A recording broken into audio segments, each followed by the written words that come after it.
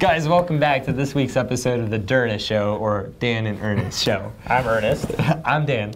Really excited to talk to you guys today. So we're going to show you some updates that we've done to the user interface. Now, let me show. Let me share some history. Uh, the product that you're used to seeing was built in 2012, and we've learned a lot since 2012. Uh, we want to make the product a lot easier to understand and more usable. And today we're going to show you the contact record and the updates that we've made to the changes. So Ernest, take it away. All right. It doesn't matter whether you're B2C or B2B, we're all H to H, right? human to human. yes. And the way that we store the contact information in Infusionsoft is in our contact record or in our CRM. Now, Infusionsoft is really robust, and we're unapologetic of that. It's the most powerful sales and marketing tool. It's the most powerful CRM. And we've decided that we want to make some changes into how people interact with that CRM. So I'm going to go ahead and pull up uh, a list of my contacts here and let me pull up myself. You can see we've got my contact information in here. You've got any additional activity that may be associated with my contact record.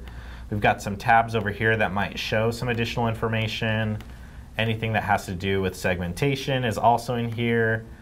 And uh, it's, it's a lot. It's a lot of information, and that's a good thing. Um, but we wanted to make it easier to consume. I'm going to go ahead and search for myself again.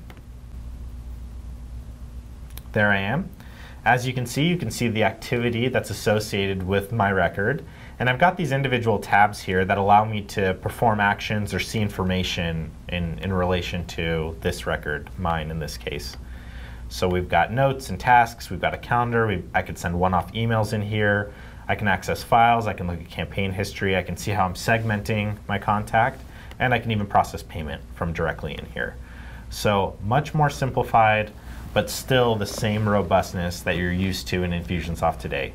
We're excited for people to use this. We're excited for you to spend less time using Infusionsoft and more time moving your business along using Infusionsoft. Ernest, that was awesome. Thanks so much for sharing. Uh, what we'd love to do is, if you want to check out the free trial, go to our website, infusionsoft.com. You'll get access to this. If you're a current user and you want to get uh, access to this, know we're working towards that. It'll be out sometime this year. Uh, bear with us. Check out our new website and uh, put your comments and questions in the box below.